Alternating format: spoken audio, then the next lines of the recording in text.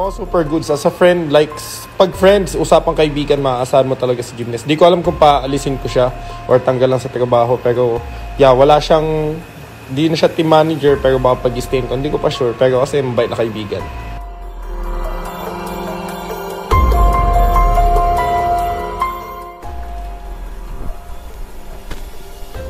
Sa araw na ito ay pag-uusapan natin kung may pag-asa pa nga ba na makabalik si Gymnast sa bootcamp ni Boss Dogs. Ano kaya ang maaari niyang maging trabaho kung sakaling kunin ulit siya ni Doggy? Bren Esports handa na pabagsakin sa lower bracket ng Blacklist International. Pag-uusapan natin yan sa araw na ito. Pero bago natin ito pag-usapan, huwag niyo kalimutang mag-subscribe at i-hit ang notification bell para mas maging updated ka pa sa mga future uploads natin. Ano pa bang hinihintay mo? Tara!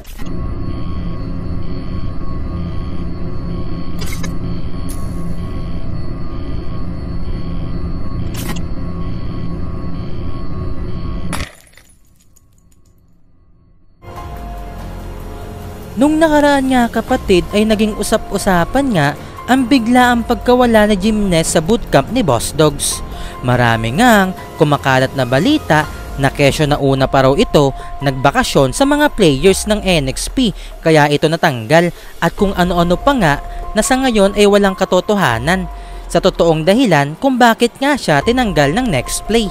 Pero bago natin yan pag-usapan kapatid, si Gymnast nga ang tumayong tatay ng mga players sa bootcamp lalong-lalo na nga ang pinakainiingatan na Next Play Esports. Siya lang naman ang gumigising sa mga ito kung may mga practices nga sila ng maaga at siya rin ang nag-aasikaso ng lahat patungkol sa mga magaganap sa NXP Esports.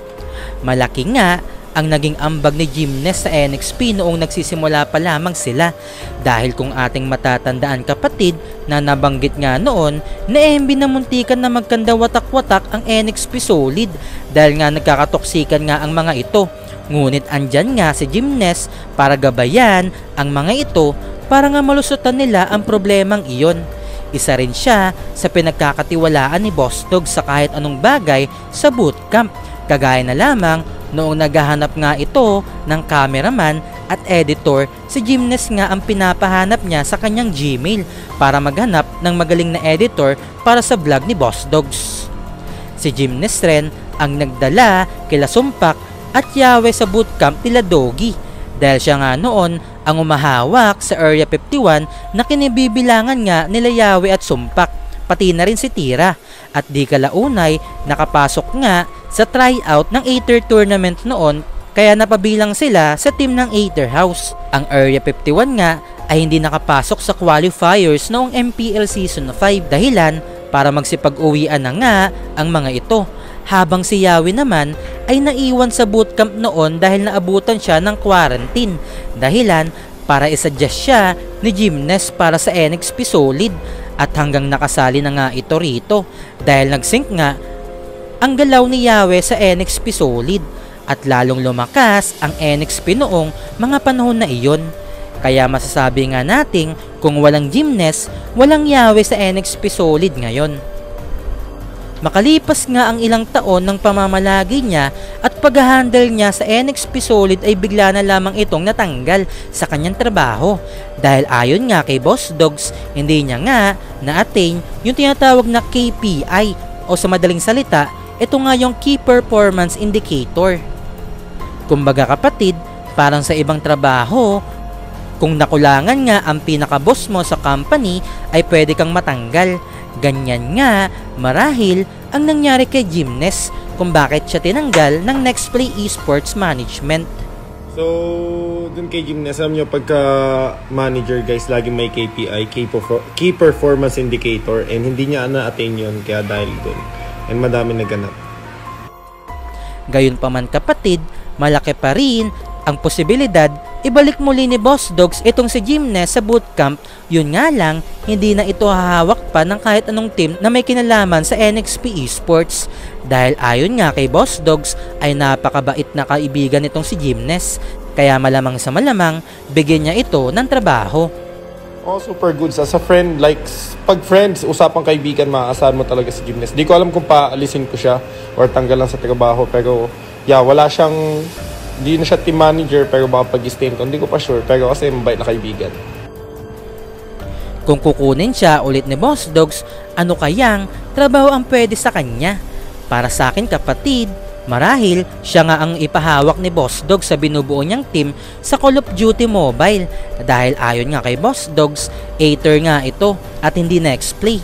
Sa madaling salita, pwede niya rito ilagay si Gymnast kung sariling team talaga ni Boss Dogs ito at hindi ng next play ang COD Mobile na itatayo. At ito nga ang confirmation na baka ang COD Mobile ni Boss Dogs ay hindi under ng next play. Um, oh, doon na yun sa Pangasinan guys, malapit na kasi matapos. So, once nabuo na yung CD, uh, COD mobile team namin, doon namin yung lalabas. Sa ngayon, bubuo ako, that's AE, not next play. Okay, ulitin ko, AE, hindi next play. Base lamang yan sa naririnig ko kapatid ha. Sa pagpapatuloy kapatid, nalalapit na nga ang laban sa playoffs at isa nga sa pinakamabigat na laban nga na matutunghayan natin sa May 27 ay ang laban nga ng Bren Esports at Blacklist International. Gaano nga ba kahanda ang Bren Esports ngayon kapatid? Well, pagdating sa paghahanda, marahil marami na nga silang nakaka-scream na mga team sa ibang bansa, lalong-lalo na nga ang mga pasok na para sa MSC. Dahil sobrang hirap nga makipag-scrim ngayon sa ibang bansa dahil tapos na nga ang kanilang MPL. Sa madaling salita, ang mga teams na hindi napabilang para sa MSC ay hindi makaka-scrim ng mga MPL teams natin dito dahil malamang sa malamang ay mga nasa bakasyon na nga ang mga ito. Tanging ang mga nasa qualified teams lang ngayon sa MSC sa ibang bansa ang pag-asa nilang maka-scrim. World Champion kapatid, kaya kung magre-request ito ng scrim sa ibang bansa na parte ng MSC ngayon ay malamang pagbigyan ang mga ito. Lalo na't nag ensayo na rin sila dahil mag MSC na nga pagsapit ng June.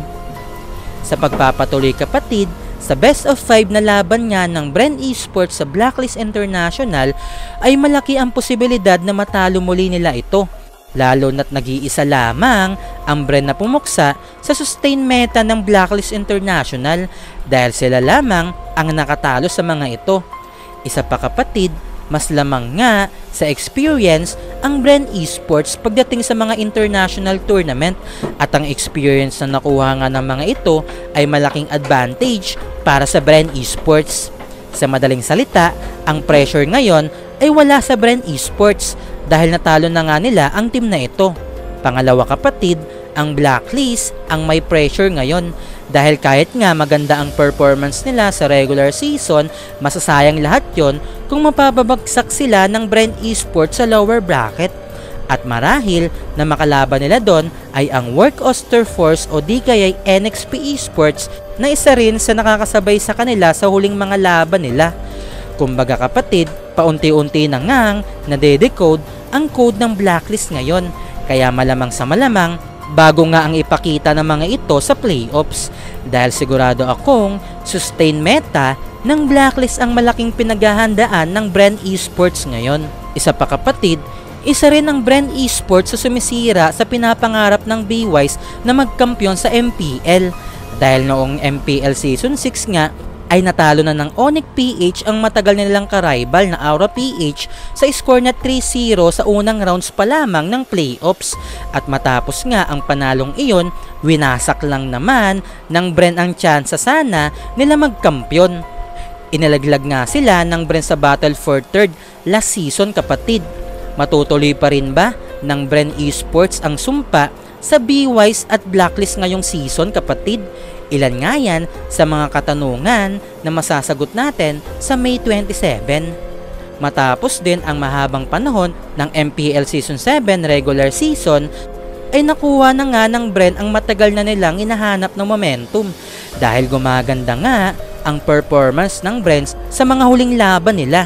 Kaya alam kong ito ang lubos na magpapahirap sa Blacklist International kapatid na magkampiyon ngayong MPL Season 7 Uulitin ko lang kapatid ha, Blacklist at Bren ang gusto kong laban ngayong season at alam ko na gusto nyo rin yan. Ngunit andyan pa nga ang ibang teams na maaaring magkampiyon ngayong season. So kapatid, ano sa palagay nyo ang magiging trabaho ni Gymnast kung sakaling kunin siya ni Boss Dogs?